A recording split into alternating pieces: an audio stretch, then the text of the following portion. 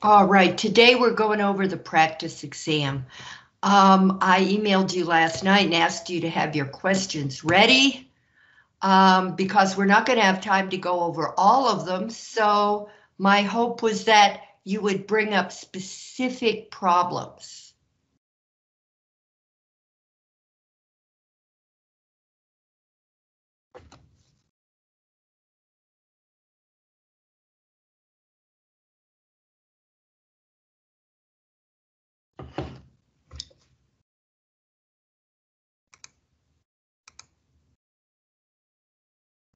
Dead air.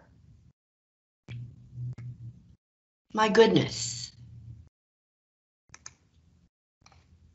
I guess that means nobody's prepared to ask any questions. Maybe you are all ready to make an A. So I guess I'll go over some of the problems that I would consider to be the hardest. So let's see, how about number four? That looks positively ugly.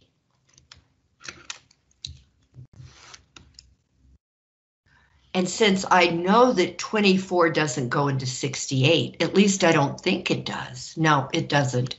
Um, we are not going to have a positive one in front of c squared, so we're going to have to factor by the AC method.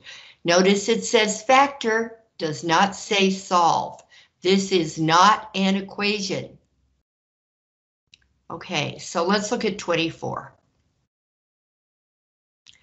I am guessing that the GCF is going to be 4. Okay, but it could be 8. So let's see if 8 goes into 68 evenly. No, of course it doesn't. No, no, it doesn't. So I strongly believe it will be four. So 24.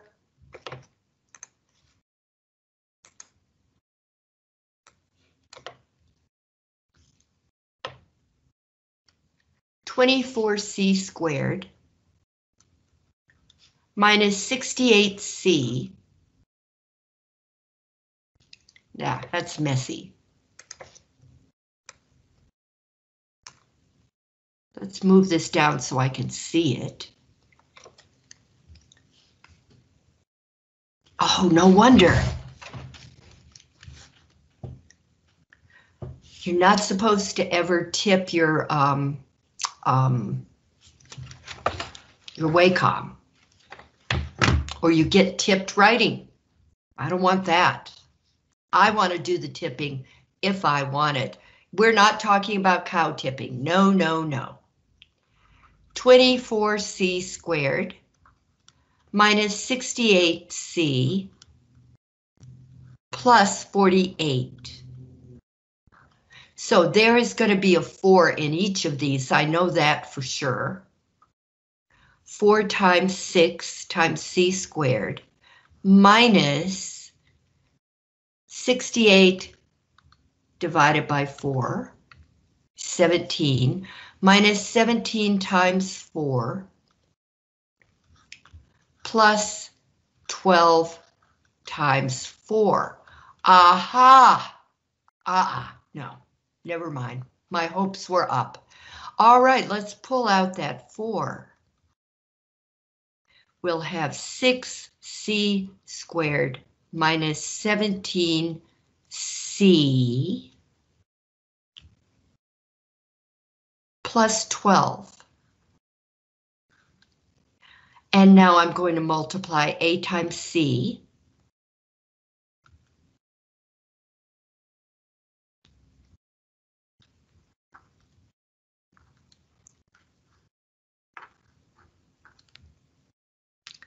And 72. I thought I might have to go to the calculator, but I don't because I do know that 72 equals 8 times 9, and that 8 plus 9 is positive 17.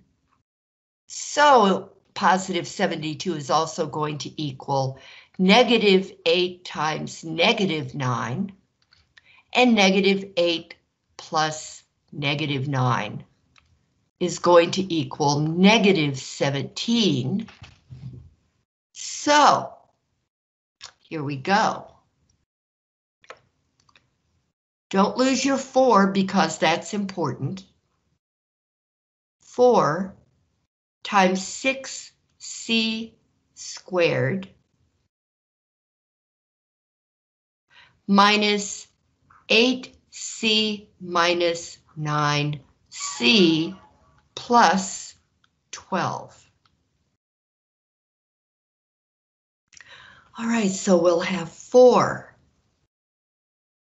I actually am going to put brackets here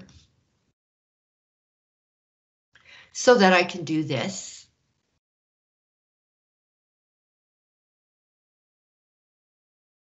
parentheses 6c squared minus 8c plus parentheses 9c plus 12.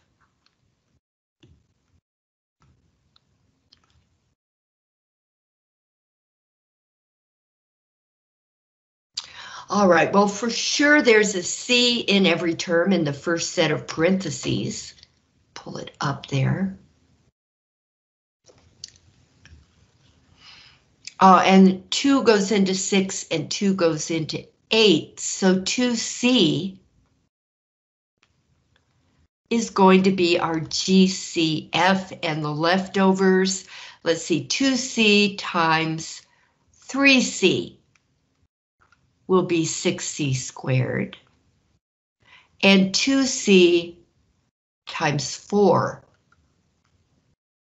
Well, times minus 4 will be minus 8c. Okay, now plus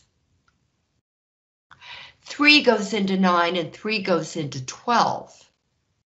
So let's rewrite this as negative 3 times 3c plus negative 3. Oh, I'm going to sneeze. I'm going to sneeze.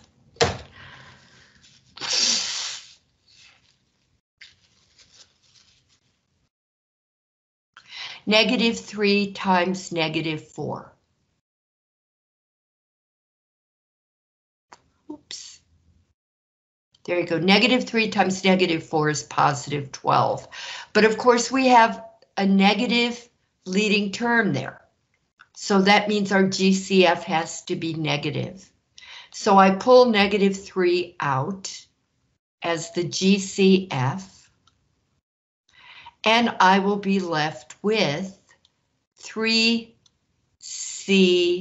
plus negative 4, which is minus 4.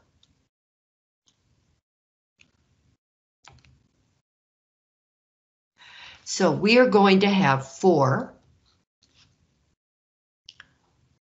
Now that I know I have more room, I'll write it bigger. This is what I've got.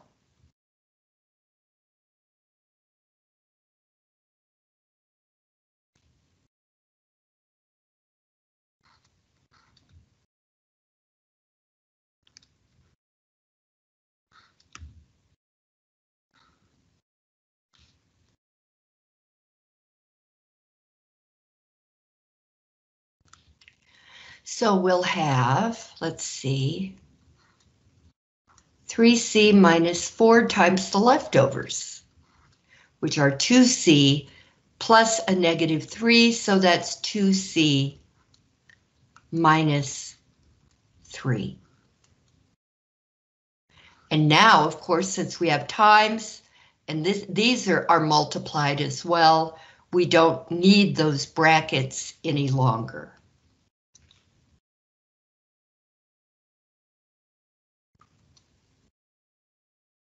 And under normal circumstances, I would check my answer. But we have a lot of time problems. So let us just go on and assume it's true. Now, I don't want to be doing that either. It takes too long. Okay. Um, usually it is true. If this matches this, then you know you're probably on the right track. Just don't lose your four. That's the most common mistake, is losing the four that you pulled out. If you had an equation, you could divide it out, but this is not an equation, it's an expression.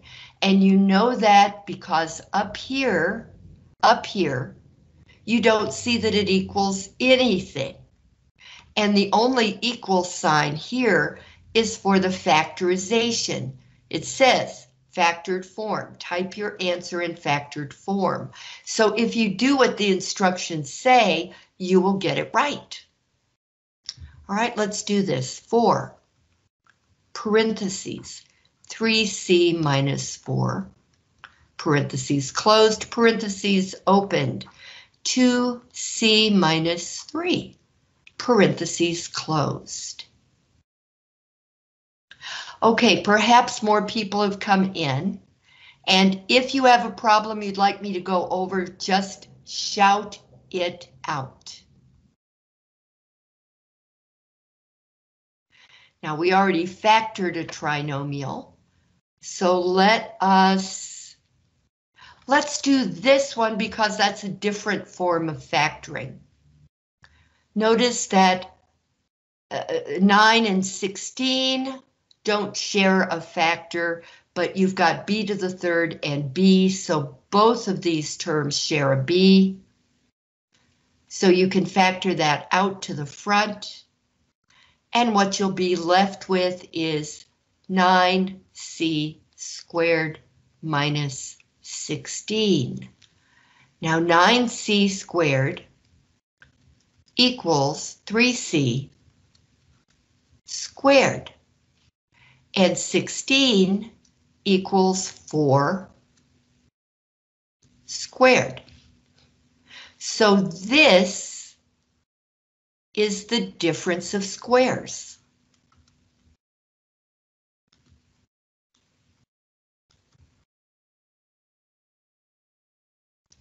So let's come over here and write it a little bit bigger.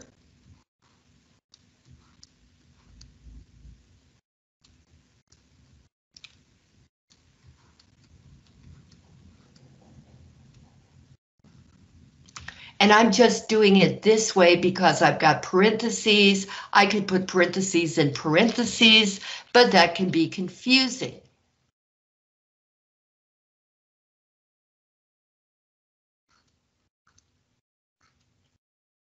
Right, now we're factoring this. Going to do 3C, 3C, 4, and 4, and plus and minus. So this B was a GCF that we pulled out at the very beginning, and this is that. So now we're going to factor this by the difference of two squares.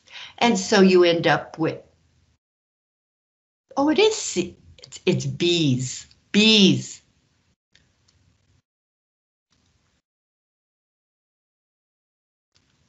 Why on earth did I start putting a C? I have no idea.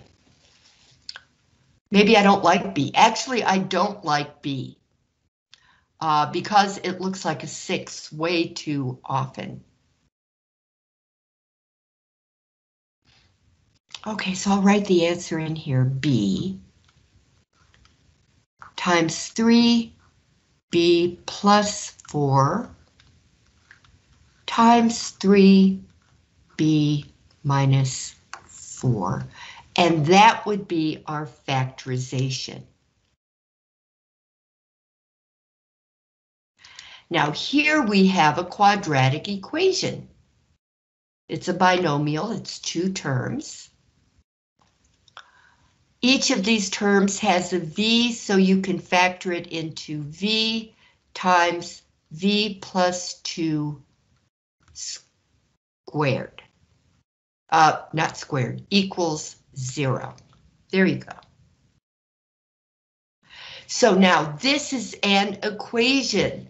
So what you're going to do now is you're going to set each of these factors equal to zero. V is already set equal to zero, it's solved. But over here, we'll subtract two from both sides.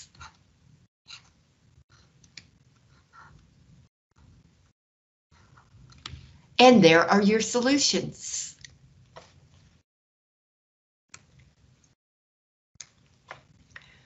Notice it says use a comma to separate the answers.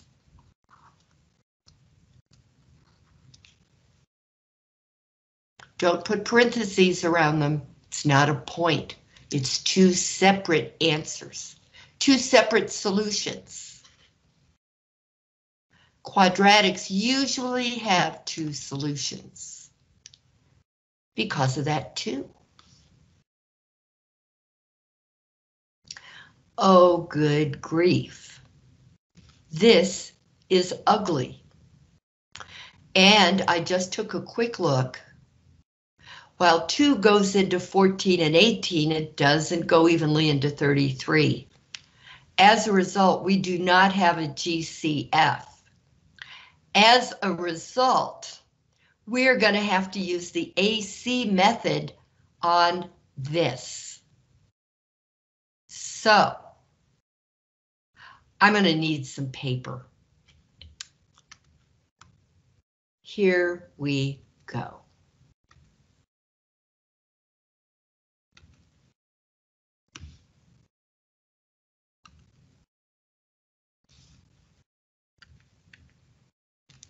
Okay.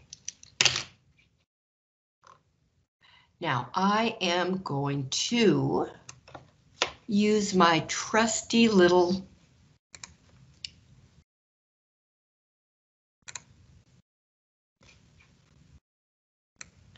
copier to copy that.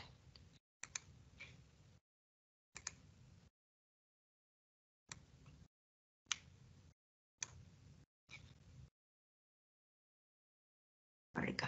Yeah. Right here. Oh.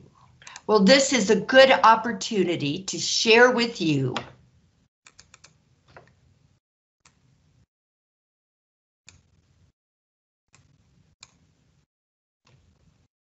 the um, the full calculator trick that helps you a lot with problems like this that have obnoxiously big numbers. Now, none of these numbers in particular is obnoxiously large, but once we start multiplying them, they will be. So, we're going to use the AC method.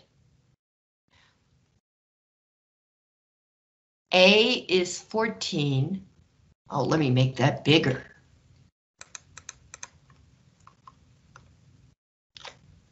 A is 14. B is negative 33.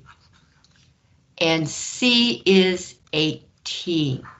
So let me make sure what I just said is completely true, and it is.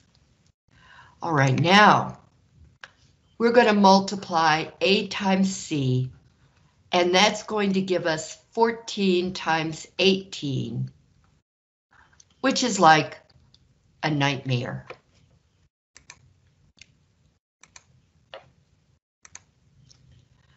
Fourteen times eighteen. Enter. 252. Let me write that down. Positive 252.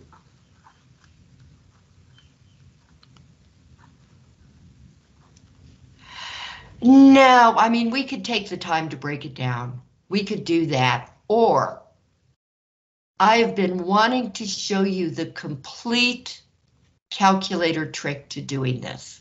Now, all it's going to do is give you your middle numbers. We're going to be factoring by grouping. But here it is. Let's go to y equals clear, clear, come back to y1. I've just multiplied A times C and I've gotten the number 252. In Y1, I'm going to type 252 over X.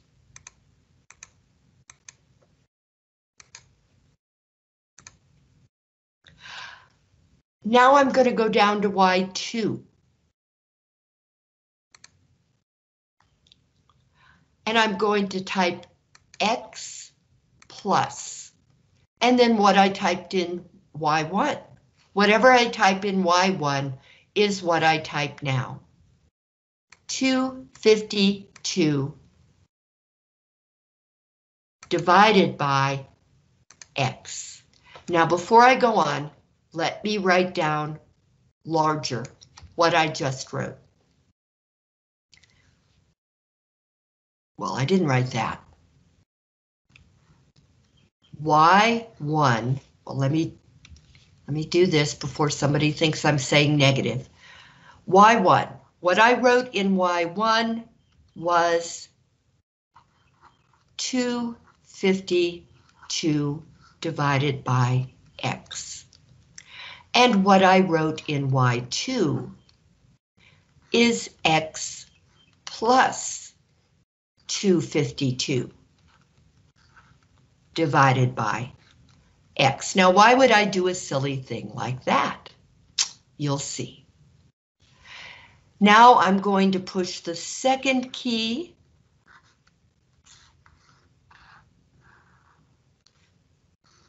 And then I'm going to push the graph key.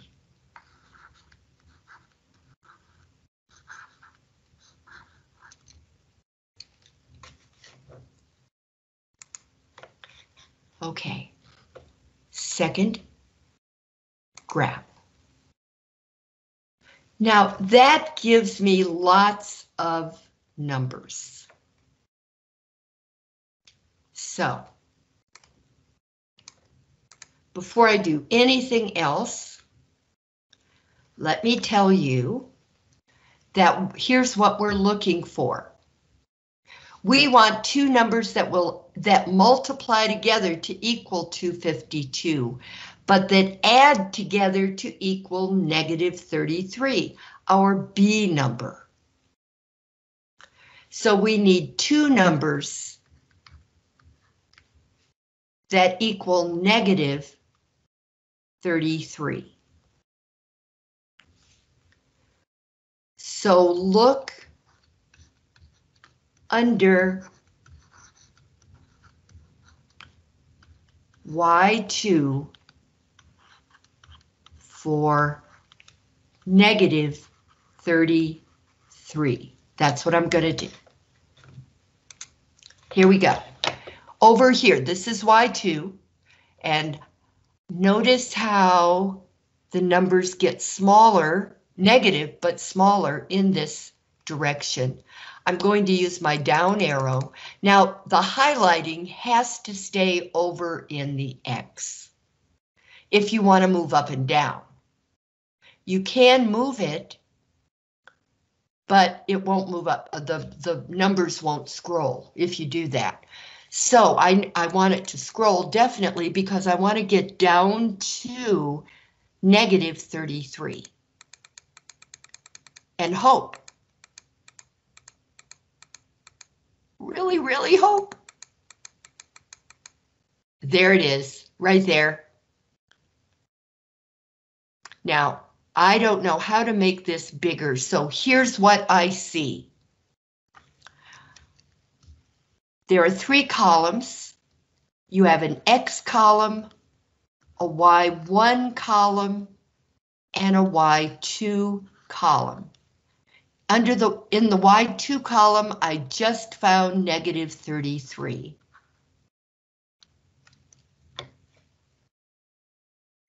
Now over here, X is negative 21 and Y1 is negative 12.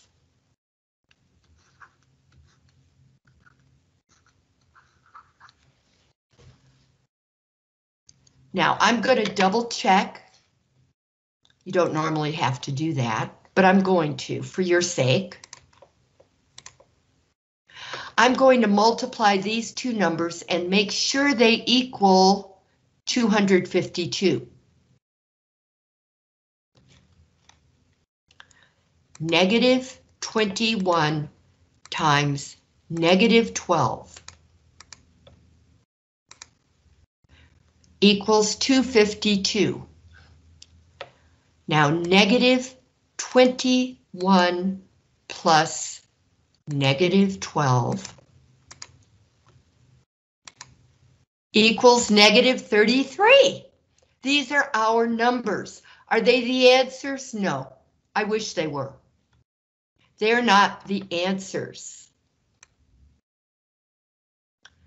But we have to factor this by grouping. So this method gives you your two middle numbers. Here and here.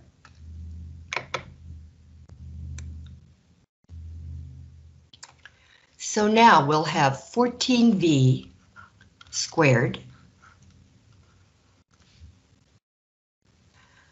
Um, yeah, they're both negative, so minus 21V minus 12V and then plus 18.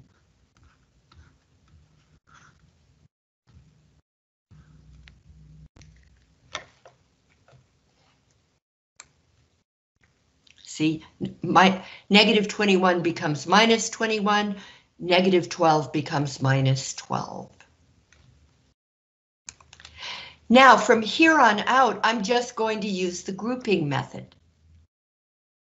Okay, so I'll have 14v squared minus 21v plus negative 12v plus 18, close parentheses, equals zero. Now this, we're going to factor, set each factor equal to zero and solve because this is an equation.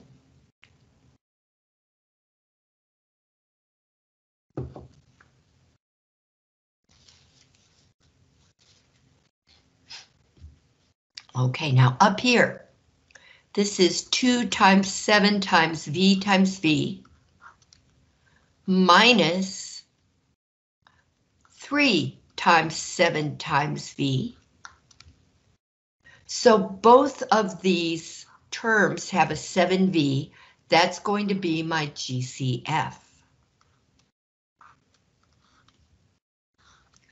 And the leftovers are going to be 2V minus 3.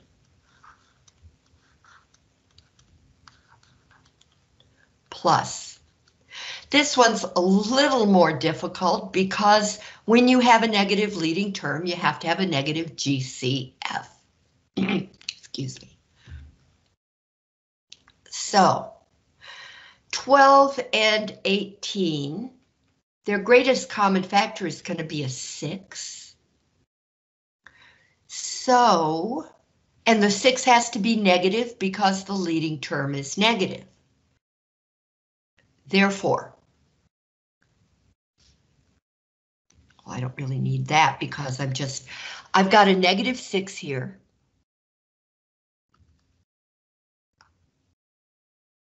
Negative 6 times 2v plus negative 6 times negative 3 because it's positive 18. All right, I'll pull out the negative 6 GCF. And what I'll be left with is 2V plus negative 3, which is minus 3.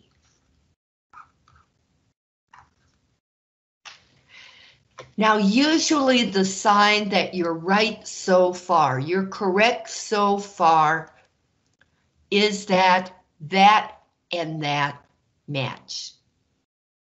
So it's kind of also a test to see if you're going in the right direction.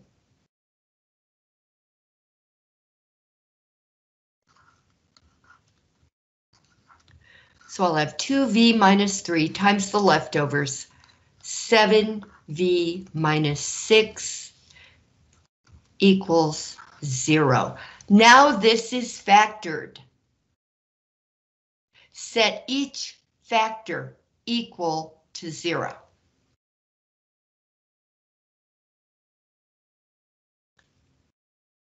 Two V minus three equals zero and 7v minus 6 equals 0.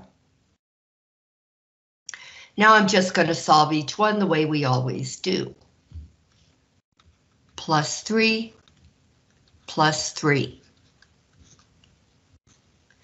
2v, oh, negative 3 plus 3 is 0, so 2v equals 3. I divide both sides by 2. the twos cancel, and so I have V equals 3 over 2. There's the first one. Now over here, we're going to save room and add 6 to both sides.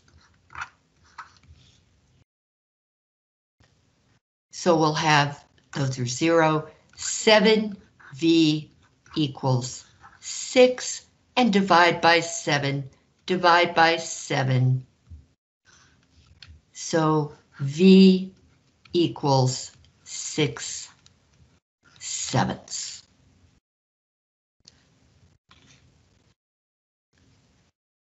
And now you have your solutions. That was very involved. So let me go back here Where's my calculator? Right there. And I'm going to take a photo of this and include that in the notes so you can see it. Try to move that down out of the way.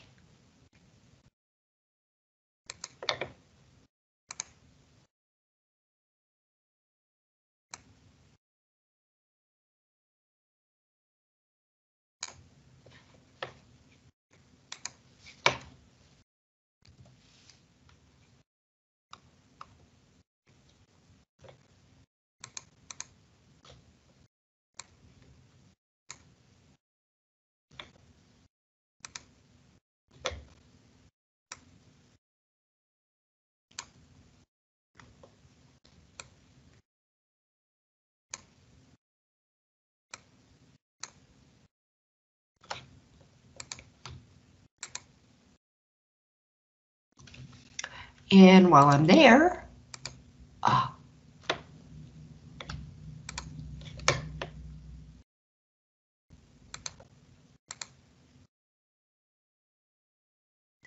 uh, we'll include this.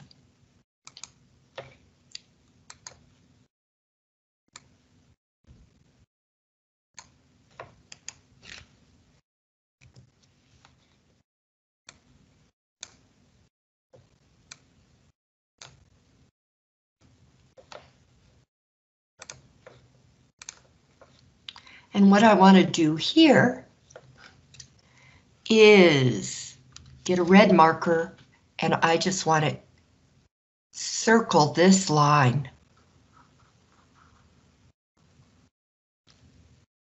Right here. This is one of the best methods ever invented. I did not invent it. It's been handed down from teacher to teacher as long as there's been a TI.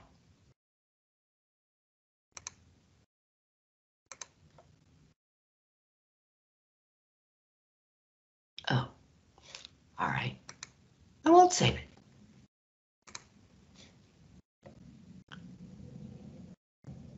Okay, so, um, yeah, I will do this though.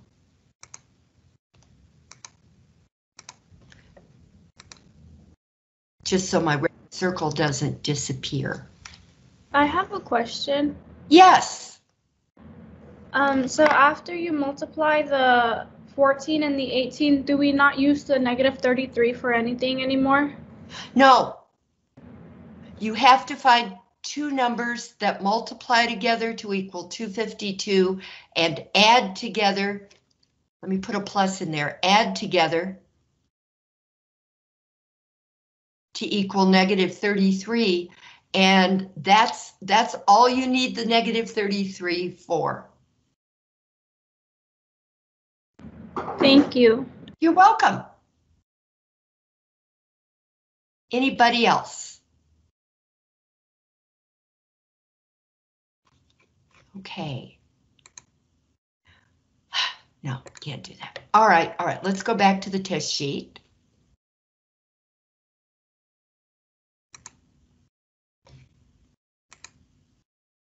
Which is right here.